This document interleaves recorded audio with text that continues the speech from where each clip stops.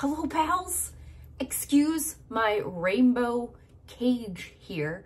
Uh, we're packing, we're moving again. Oh my goodness, we just moved last year. Now we're moving again and it's not fun, but I'm excited to get into the new space. Moving into a house, gonna have a uh, sewing and stream room that is dedicated and separate and a workshop. So I'm really pumped to get in and get those set up and be there forever. No more move, no move.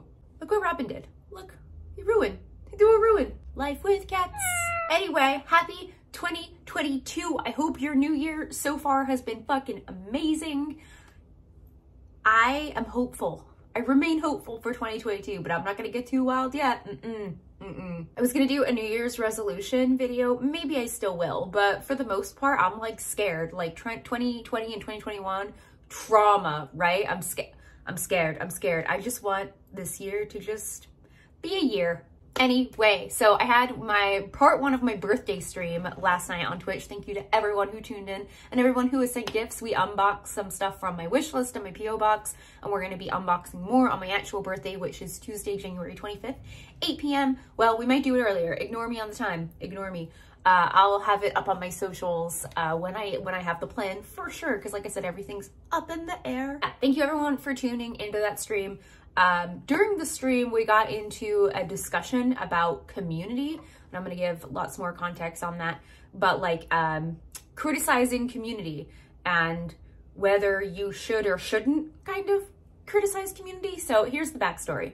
So the When We Were Young tour or festival, whatever the full name of it is, holy shit. Like everyone else, I saw that flyer and the emo girl inside of me came to life. It breathed life into her. She came back and she was like so fucking pumped.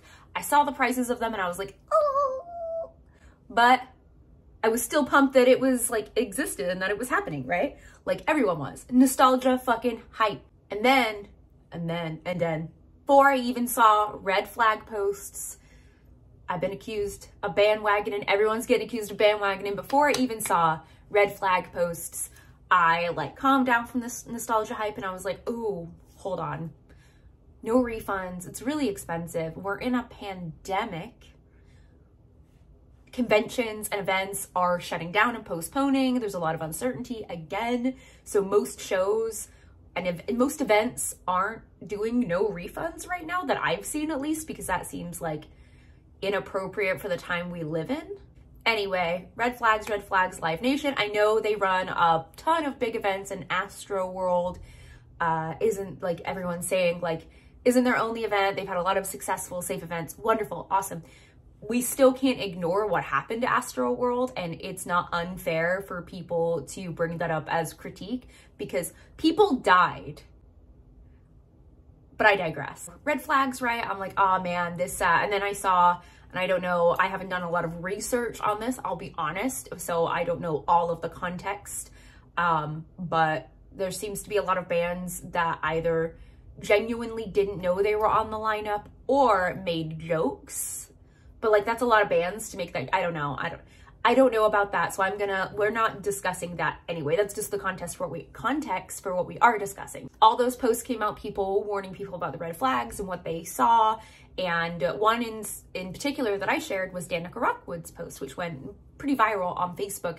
And she listed out some red flags that I really agreed with. The same red flags I had been like about prior to seeing her post and everyone else post, right? So I shared it in agreement and um, I was reading through the comments and some, there was so many people, not just on that post, but on so many who are like really pissed off that anybody, anybody is saying anything bad about the show. Like buzzkills, ruining everything, ruining the event, you know, don't say anything bad about the show. This is what, this is an event we want. We're excited for it. Why are you like pissing in our Cheerios? Which I get, I get. It sucks when you're excited about something and everybody shits all over it, right? But I feel like oh, there's definitely some people out there doing that because there's some people who just love to do that, to rain on other people's parade. But I think it's important not to confuse genuine criticism and discussion with people just being assholes. And I think a lot of that happened here. So anyway, I'm reading through the comments and I, as a rule, I don't really engage in internet drama. Like I try not to get into like arguments and discussions with people unless it's like entirely necessary. But I did get into a little bit of back and forth with somebody. I, I mean, it wasn't like an argument. It was pretty respectful, just, you know, disagreeing. Um, and then they made the comment, how would you feel, or something along the lines of like, how would you feel if people were uh, doing this regarding the cosplay community? And that stuck with me. Like that really like rolled around in my head for a while because just that sentence sort of blew my mind. I feel like genuine critique of community is wildly important for the health of a community.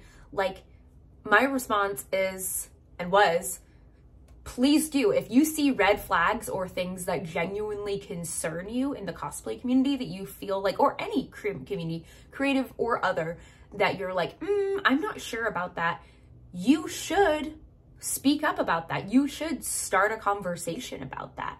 The cosplay community is certainly no stranger to scam events and shitty businessmen running off with everyone's money and companies that scam you and all kinds of scams and issues. And we warn each other about it all the time, right? Like you see it, especially on Twitter. That's a great place to see, you know, what's going on in the community that, you know, you should be aware of. And maybe I misread what they were saying, but in the moment on that, that thread, that comment thread we were just talking about, I took that as, you know, you're saying bad things about my community, like shitting on something I love. How would you like if I did the same to you?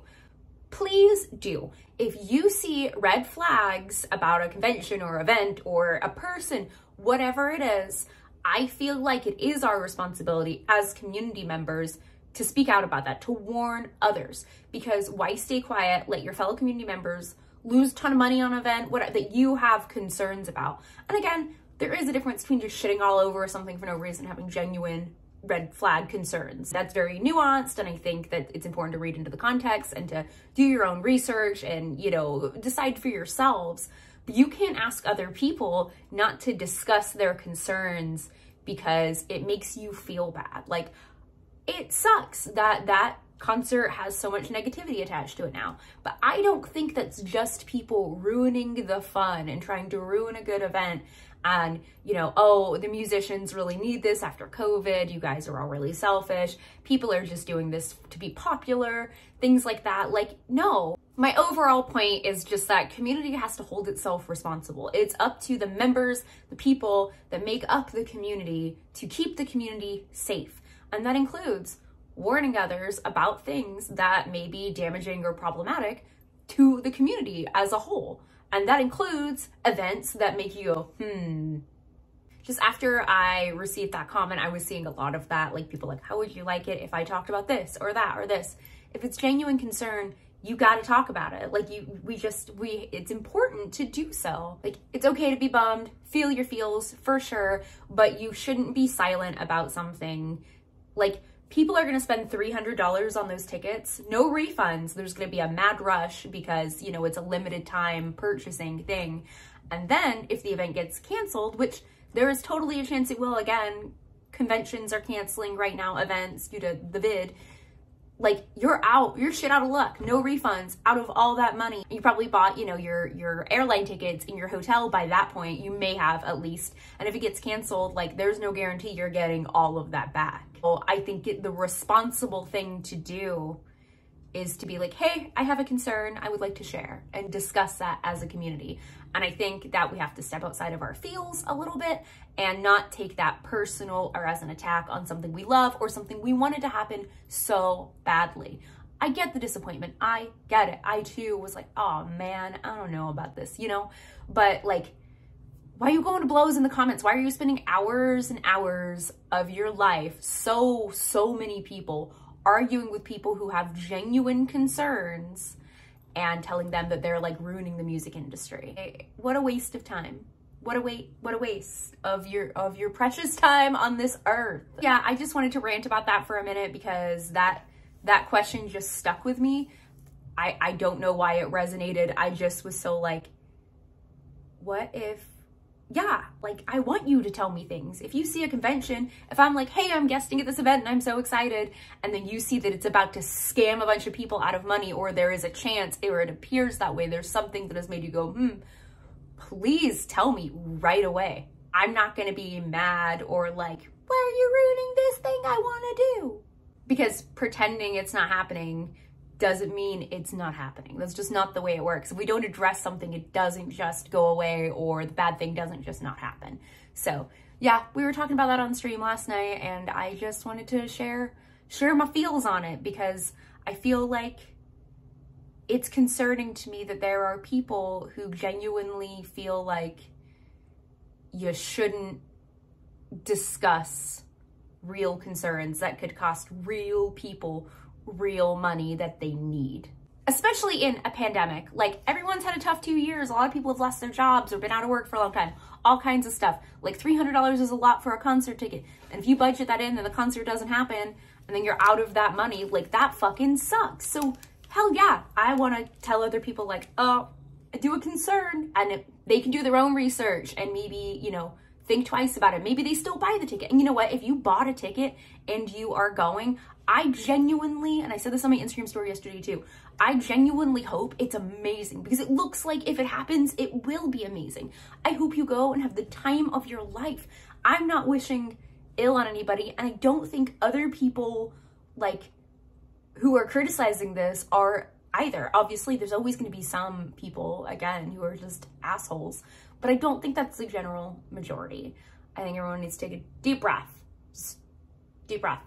But yes, you should criticize your community when you see reason to do so. Those discussions are important. Those discussions are how we protect community, how we make community more inclusive, how we move forward in a positive direction as a community. Like, that's important. I think that's really important, and so does Bane.